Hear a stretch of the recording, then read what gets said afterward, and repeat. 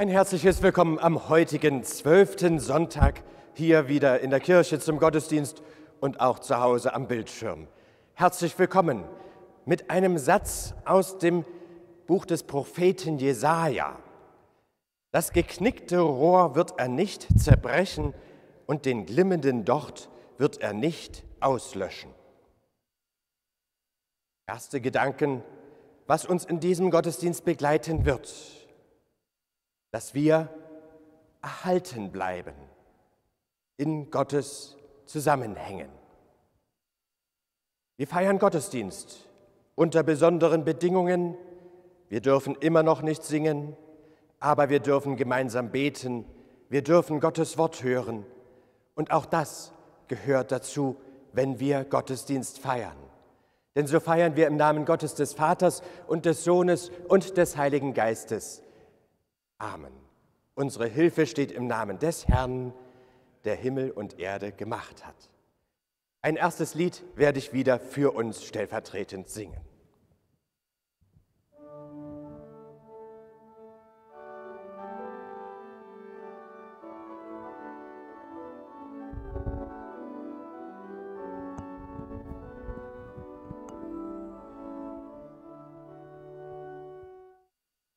Der Gottesdienst soll fröhlich sein, so fangen wir nun an. Gott lädt uns alle zu sich ein und keines ist dafür zu klein.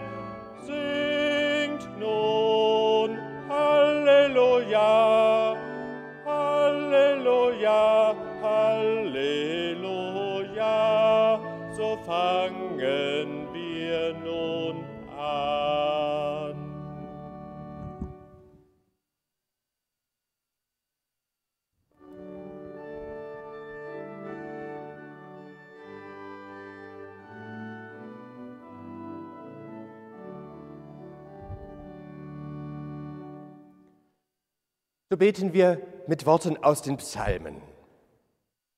Lobet den Herrn, denn an Gott loben, das ist ein köstlich Ding, ihn loben ist lieblich und schön. Der Herr baut Jerusalem auf und bringt zusammen die Verstreuten Israels. Er heilt die zerbrochenen Herzen sind und verbindet ihre Wunden. Er zählt die Sterne und nennt sie alle mit Namen. Unser Herr ist groß und von großer Kraft und unermesslich ist seine Weisheit. Der Herr richtet die Elenden auf und stößt die Frevler zu Boden. Der Herr hat Gefallen an denen, die ihn fürchten, die auf seine Güte hoffen. Ehre sei dem Vater und dem Sohn und dem Heiligen Geist, wie im Anfang, so auch jetzt und alle Zeit und in Ewigkeit. Amen. Ewiger Gott, so verschwenderisch ist deine Liebe, dass du uns reicher beschenkst, als wir erwarten und herrlicher, als wir erbitten können. Wende von uns ab, was unser Herz erschreckt, und lass unsere Augen deine Wunder sehen. Durch unseren Herrn Jesus Christus, deinen Sohn, der mit dir und dem Heiligen Geist lebt und wirkt in alle Ewigkeit. Amen.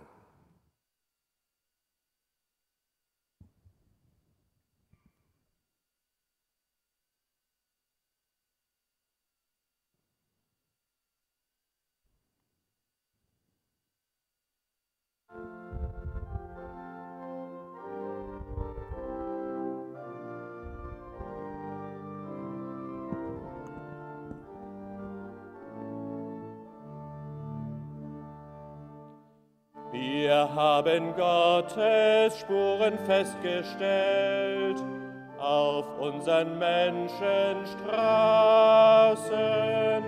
Liebe und Wärme in der kalten Welt, Hoffnung, die wir fast vergaßen. Zeichen und Wunder sahen wir geschehen in längst vergangenen Tagen.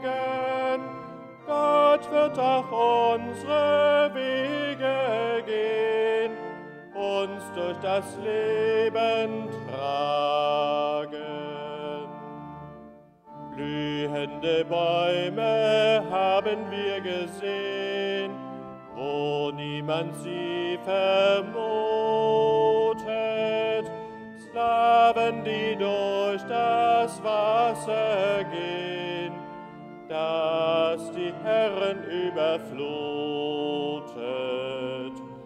Zeichen und Wunder sahen wir geschehen in längst vergangenen Tagen.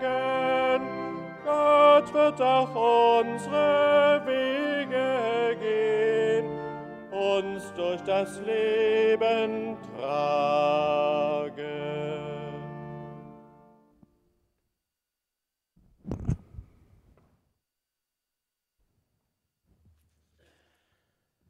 So hören wir das heilige Evangelium für den heutigen Sonntag. Es steht geschrieben bei Markus im siebenten Kapitel.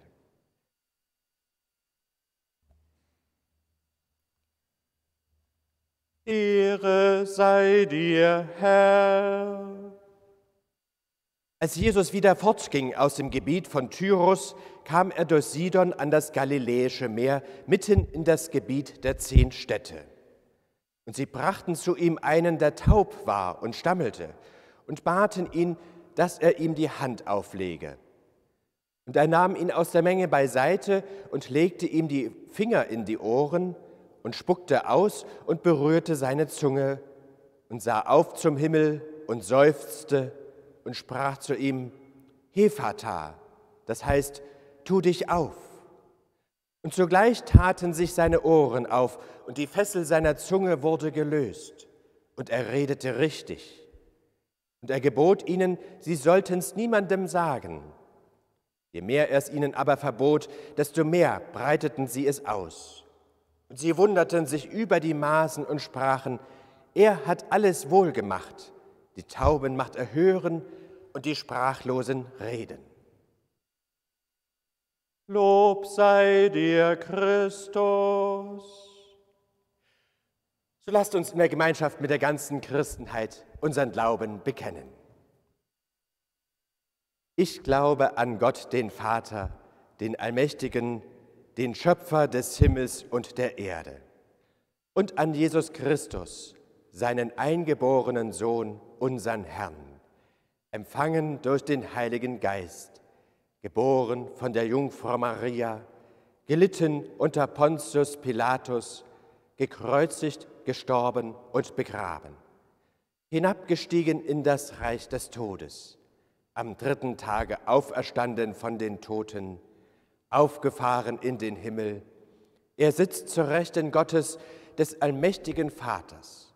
Von dort wird er kommen, zu richten die Lebenden und die Toten. Ich glaube an den Heiligen Geist, die heilige christliche Kirche, Gemeinschaft der Heiligen, Vergebung der Sünden, Auferstehung der Toten und das ewige Leben. Amen.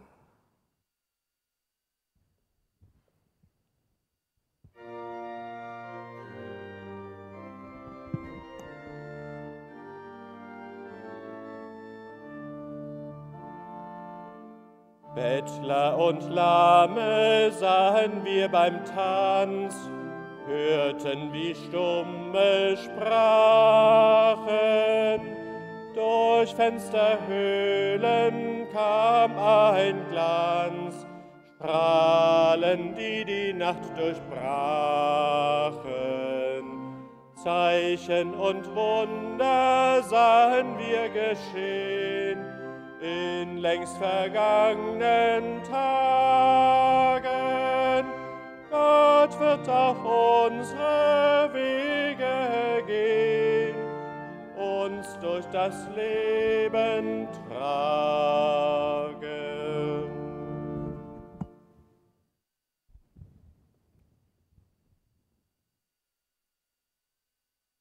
Liebe Gemeinde, eine kleine Geschichte zu Beginn.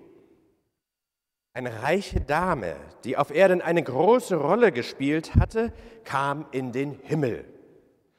Petrus empfing sie, führte sie ein und zeigte ihr eine schöne Villa.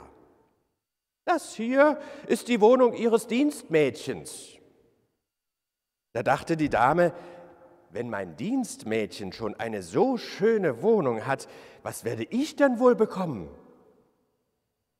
Bald danach zeigte ihr Petrus ein anderes, ganz kleines, armseliges Haus und sagte, das dort ist ihre Wohnung. Empört meinte die Dame, darin kann ich doch nicht wohnen.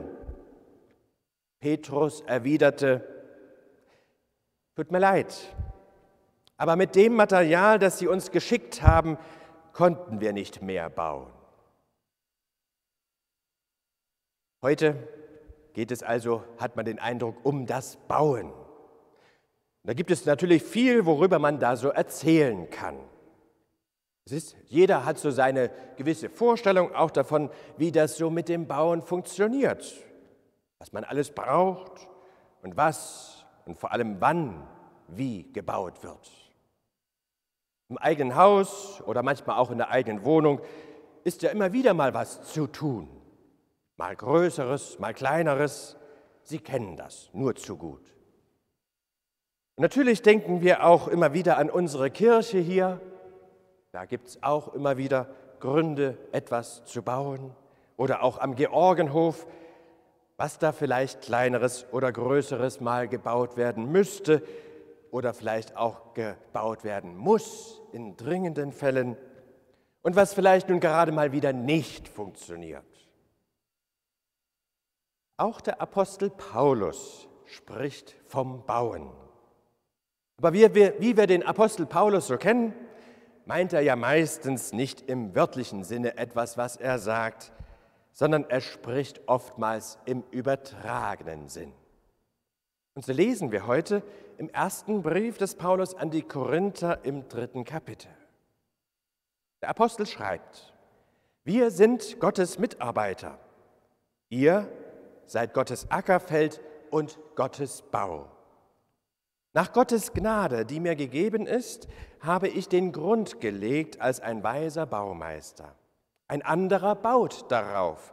Ein jeder aber sehe zu, wie er darauf baut.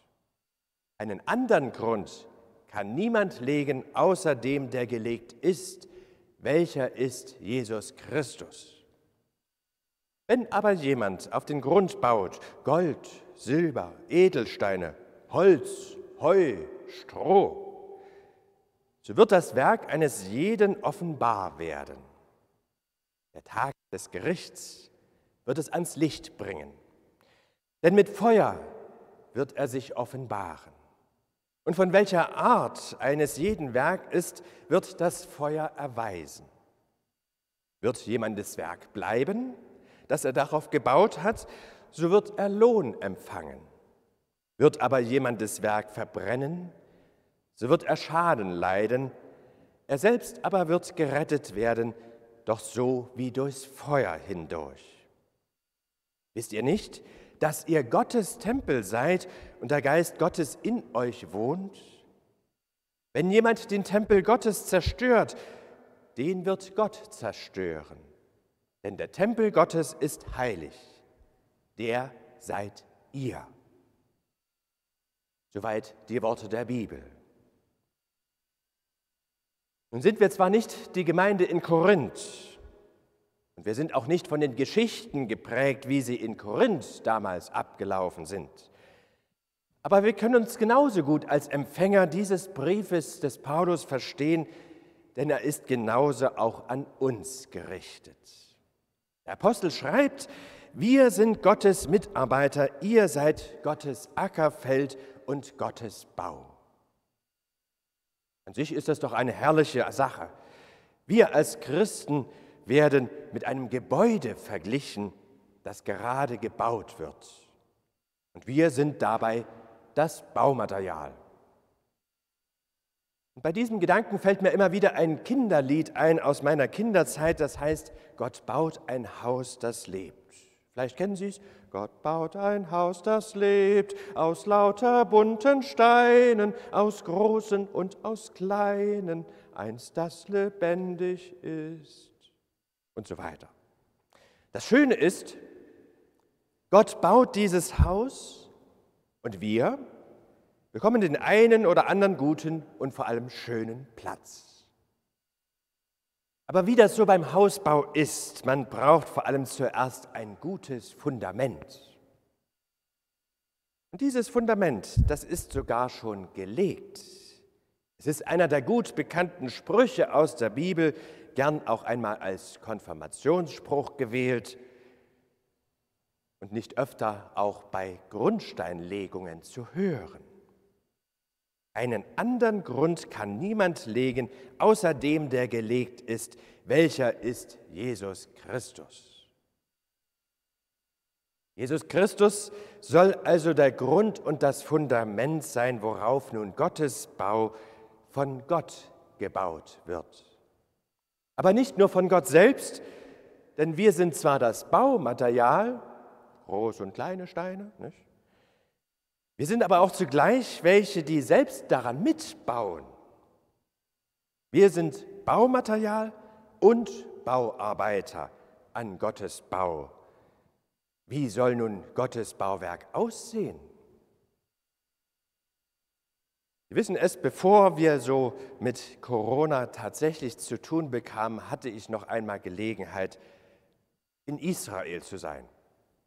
Man hat so den Eindruck, das Land, wo gegraben wird nach uralten Dingen. Gibt es ja auch unheimlich viel dort zu finden. Wenn Archäologen uralte Siedlungen ausgraben, das ist ja in der Regel so, sie finden so gut wie nie ein vollständiges Gebäude. Meistens finden sie nur ein Fundament oder gar auch nur Fundamentreste aber daran kann man wohl sehr gut ablesen, was das wohl für ein Haus mal gewesen ist, wie hoch es war und wofür man es brauchte. Fundamente geben einiges vor, wie das Bauwerk darauf auszusehen hat. Wie soll nun Gottes Bauwerk aussehen? Einige würden sagen, na das ist doch ganz einfach. Schauen wir uns doch mal das Fundament an und dann wissen wir ganz genau, wie das Bauwerk auszusehen hat, denn das Fundament schreibt es uns ja vor. Diese Menschen wissen ganz genau, wie Gottes Bauwerk aussieht und wie es funktioniert, wie christlicher Glaube aussieht und wie er funktioniert. Und alles, was ein wenig davon abweicht, wird abgelehnt. Aber man kann auch ein ganz anderes Bauwerk auf ein Fundament bauen. Noch dazu auf dieses gelegte Fundament, das Jesus Christus heißt. Da passen verschiedene Dinge drauf. Das Fundament auszuheben und zu legen, das ist er uns bereits abgenommen. Wir brauchen nur darauf loszubauen. Ja, wir sollen auch einfach so mal darauf losbauen. Es ist nicht vorgeschrieben, welches Material wir dafür verwenden, auch nicht, welche Formen wir benutzen. Es zeigt sich jeweils daran, wie wir an Gottes Bauwerk bauen, was für Material zum Vorschein kommt. Jeder darf bauen, so wie er möchte. So lange, bis schließlich die Bauabnahme kommt. Der Zeitpunkt, wo der Bau fertig sein soll wo Gott als der Bauherr sieht, wie an seinem Bauwerk gearbeitet worden ist. Und da wird sich zeigen, welche des, Teile des Bauwerks stabil waren, welche gut gegründet sind, welche Teile eine einzige Baustelle geblieben sind oder vielleicht gar eine Ruine geworden sind, was so ein jeder so gebaut hat. Vielleicht hat einer ein Haus gebaut mit ganz vielen Fenstern drin. Vielleicht darum, weil er es wichtig findet, dass sein Leben als Christ nach außen strahlen kann und andere das auch sehen können. Vielleicht hat einer ein Haus gebaut mit vielen Türen, die auch offen stehen. Offene Türen für andere, dass sie vorbeikommen können, dass sie hereinkommen können. Vielleicht hat einer versucht, einen Turm zu bauen, so hoch es irgend geht. Wir wissen, so ein Turm ist durchaus eine ziemlich wackelige Angelegenheit, denn das Fundament reicht dafür durchaus, aber vielleicht auch manchmal nicht ganz. Und so wird man vielleicht merken, dass er mit seinem Blick nur für sich selbst, mit seinem Stolz und Egoismus sehr allein geworden ist. Hochmütig, ja wenn nicht gar übermütig, und sein Turm fängt an zu schwanken. Ein anderer hat vielleicht Lagerhallen gebaut, groß und weit, um alles Mögliche darin zu lagern. Aber zum Verteilen ist er nie gekommen. Die Bauabnahme am Ende wird prüfen, was Bestand haben wird in Gottes Bauwerk, während alles andere vernichtet wird. Gott schreibt dabei nicht vor, wie das Bauwerk auszusehen hat. Aber das Fundament gibt uns ein paar Gedanken bereits mit auf den Weg, nämlich die Grenzen zu dem, was man schlecht bauen kann. Es lohnt sich also zwischendurch schon immer mal wieder, sich die Frage zu stellen, ob das, was ich da gerade baue, auch wirklich zu Gottes Bauwerk passt. Kann das Fundament so ein Bauwerk aushalten?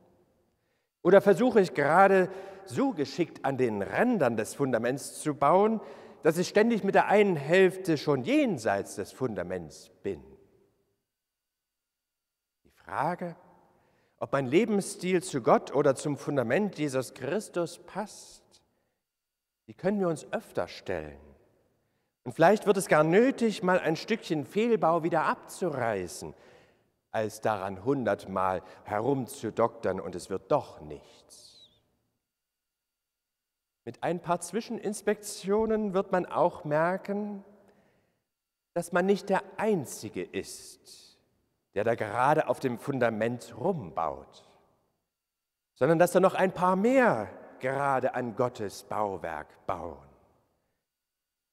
Und so wird man vielleicht auch merken, dass man gar nicht sein eigenes Häuschen da bauen kann, sondern auf diesem Fundament können nur allesamt an einem Bauwerk bauen, an Gottes Bauwerk, wo wir gemeinsam alle zu Mitarbeitern Gottes werden. Als Mitarbeiter, als Mitarbeiter Gottes fügen wir uns ein in die weltweite Gemeinde der Christen, die mit jeweils ihren Kräften am großen Bau der Christenheit mittun, sozusagen dem Tempel Gottes in der Welt. Dazu habe ich auch noch eine kleine Geschichte, die ich Ihnen noch gerne mitgeben möchte. Ein Christ träumte, er wäre gestorben und ein Engel trüge ihn in die Ewigkeit hinauf. Droben war ein herrlicher Tempel. Der Christ bestaunte mit großen Augen dieses wunderbare Bauwerk. Plötzlich entdeckte er im Gewölbe eine Lücke. Offenbar fehlte da ein Stein. So sprach er zu dem Engel, was ist denn das da oben für eine hässliche Lücke? Dieser, an, dieser antwortete, das ist die Lücke, die du gemacht hast. Gott hatte gerade dich bestimmt, diese kleine Stelle auszufüllen. Du aber hattest immer andere Dinge im Kopf, sodass du nie dazu gekommen bist, diese deine Aufgabe, die Gott dir zugemutet hat, zu erfüllen. Jetzt erkannte der Mann, dass er für Gott ein wichtiger Stein im Tempel war. Darüber erwachte er aus seinem Traum. Und künftig ließ er nun das Klagen und Schimpfen über all die Unzulänglichkeiten in der Gemeinde Gottes bleiben, und arbeitete daran fröhlich mit. Er wollte seine Lücke im Tempel Gottes füllen. Liebe Gemeinde, der Grund des Lebens und des Tempels Gottes in dieser Welt ist gelegt. Und einen anderen Grund kann niemand legen. Er heißt Jesus Christus. Wir sind eingeladen, als die Mitarbeiter Gottes auf diesem Grund zu bauen. Unser Antrieb mag vielleicht dazu die Dankbarkeit sein. Dankbar dafür, dass Jesus Christus uns das Fundament bietet, dass Jesus Christus uns erlöst hat vom Tod und uns das Leben schenkt. Sehen wir doch zu, dass wir mit beständigem Material bauen, dass Gottes Endabnahme auch besteht. Amen.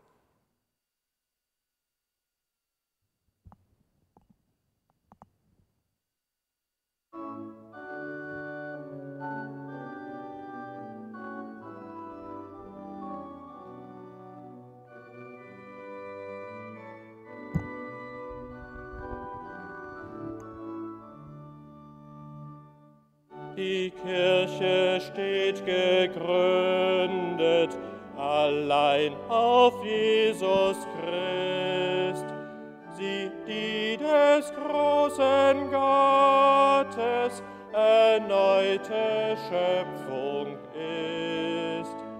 Vom Himmel kam er nieder und wählte sie zur Braut hat sich mit seinem Blute ihr ewig angetraut. Sie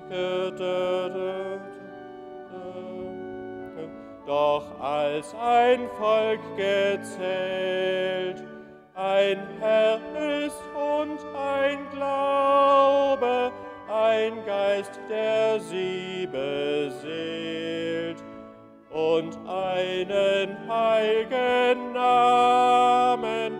Ehrt sie ein heiliges Mahl und eine Hoffnung teilt sie, Kraft seiner Gnaden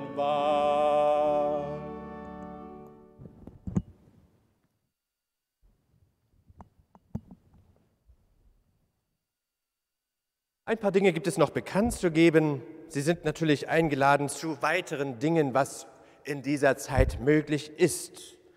Manches ist nach wie vor schwierig und wir versuchen auf vielen Wegen miteinander in Verbindung zu bleiben.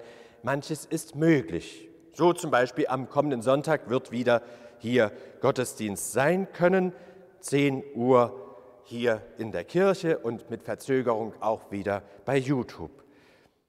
Am kommenden Sonntag ist auch nachmittags oder am frühen Abend ein interessantes Konzert hier in der Kirche unter dem Titel Freiflug. Von Mozart bis Gershwin Musik, unter anderem von einem Klavier. Lohnt sich zu kommen. Kommenden Sonntag früh Gottesdienst, Nachmittag Musik. Naja, früh haben wir ja auch Gottesdienst mit Musik. Ähm, Ansonsten versuchen wir auch manche Dinge noch weiter zu planen, was auf uns in der nächsten Zeit möglich sein wird. Open Air läuft manches einfacher, in geschlossenen Räumen brauchen wir ein Hygienekonzept. Das ist noch nicht ganz fertig. Herzlich sei gedankt Frau Linker für das Spiel an der Orgel und Frau Schiffer für das Vorbereiten der Kirche, auch für diesen Gottesdienst wieder. Herzlich sei gedankt für die Kollekte vom vergangenen Gottesdienst. Die Kollekte, die war nämlich in Höhe von 47,50 Euro eingegangen. Heute, die Kollekte, die Sie am Ausgang wieder einlegen können, ist bestimmt für das JUTZ, das Jugendzentrum im Georgenhof und die vielfältigen Aufgaben, die dort möglich sind und auch unter veränderten Bedingungen möglich gemacht werden.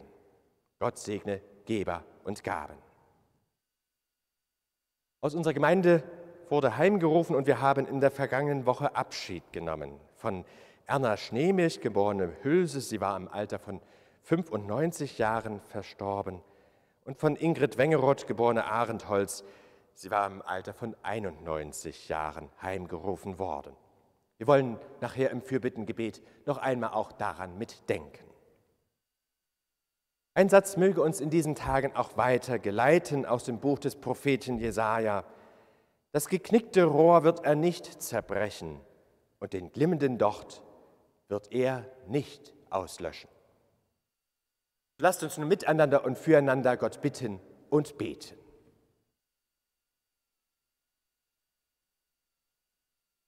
Deine Stimme hat uns gerufen, Gott. Dein Wort hat uns geschaffen, du hast uns zusammengefügt. Menschen bloß.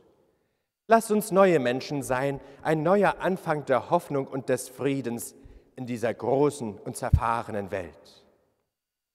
Wir heißen deine Kirche ein Volk unterwegs. Wir haben Geschichte, eine lange Vergangenheit voll Finsternis und Licht. Wir müssen dich um Vergebung bitten für vieles, was in der Vergangenheit geschehen ist. Lass uns von deiner Zukunft her denken und handeln, aus der Kraft deiner Verheißung, dass du alles neu gestalten wirst. Wir bitten dich für die Menschen, die uns im Leben vorausgegangen sind. Im Besonderen denken wir heute an Erna Schneemilch, geborene Hülse, und Ingrid Wengeroth, geborene Ahrenholz. Lass sie schauen, was sie geglaubt und gehofft haben. Und schenke uns und denen, die um sie trauern, den Trost und die Hoffnung, die du versprichst. Gestalte deine Kirche um, gib ihr den Mut, dein Wort zu tun und deinem Geist zu folgen, dass die Worte, die sie spricht und die Gedanken, die sie denkt, niemanden abstoßen, niemanden ausschließen, sondern dass sie offen steht für jeden, der schöpferisch und glücklich leben will. Lass uns die neuen Möglichkeiten sehen, die du uns gibst, um unbefangen Mensch zu sein in diesen Tagen der Geschichte und immer stärker Mensch zu werden, dass wir bewohnbar machen, was heute leer und unbewohnbar ist, dass wir mit Sinn und Fruchtbarkeit erfüllen, was heute sinnlos und unmenschlich ist auch, dass wir eine neue Welt gestalten, in der die Liebe wohnt, in der es Krieg nicht gibt.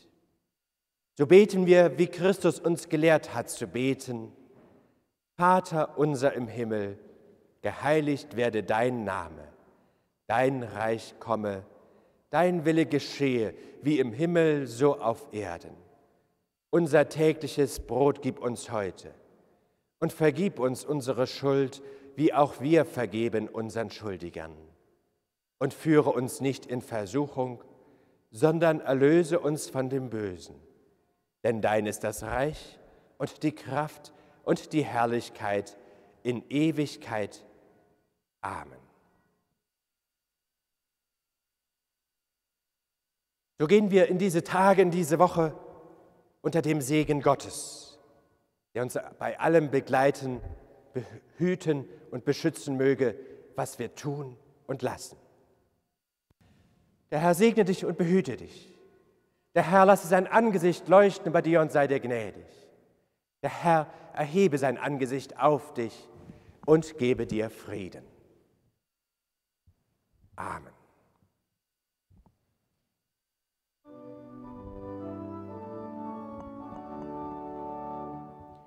Schon hier ist sie verbunden mit dem, der ist und war, hat selige Gemeinschaft mit der erlösten Schar, mit denen, die vollendet zu dir berufen wir verleih, dass wir mit ihnen dich preisen für und für.